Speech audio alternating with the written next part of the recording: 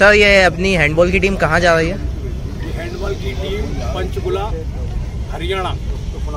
में handball Khelo India खेलो का आयोजन किया जा रहा है वहाँ जा तो सर अपने भोपाल के कितने हैंडबॉल खिलाड़ी हैं इसमें? हमारे भोपाल जिला हैंडबॉल संघ के दो बॉयज़ और चार गर्ल्स हैं। और इसका स्टेट भोपाल में ही हुआ था सर? नहीं इसकी ट्रायल्स हुई थी। जी। पूरे मध्य प्रदेश से बच्चे आए थे इसका ट्रायल्स दिया लगभग कितने बच्चे थे सर?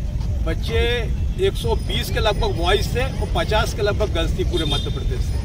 ओके तो सर ये जो खेलो इंडिया की टीम जा रही है मध्य प्रदेश की तो इसका कहीं कैंप लगेगा या नहीं? हाँ कैंप लग रहा है जबलपुर रानीताल स्टेडियम के अंदर। जी। हैंडबॉल खेलो इंडिया का कैंप लग रहा है जिसमें मध्य प्रदेश के सारे बच्चे जो सिलेक्टेड है सोलह सोलह गर्ल्स सोलह बॉयज़ वहाँ एकत्रित होकर दस दिन का कैंप है। तो सर कुछ मैसेज आपकी साइड से? मैसेज है मध्य प्रदेश में जो खेलो इंडिया खेलो की ट्रायल्स इतने सालों से हो रही थी इस बार पहली बार भोपाल जिला हैंडबॉल संघ के बच्चों को पुलिस बॉयज़ के बच्चों को पहली बार मौका मिला है। और पहली बार मौका मिलने के बाद ही हमारे बच्चों ने अपना परफॉर्मेंस जो दिया है वो बहुत ही सराहनीय का है। और सर ऐसा भी सुनने में आया कि मध्य प्रदेश से सिर्फ़ एक ही टीम क्वालिफाई कर पाई है जो कि हैंडबॉल की है।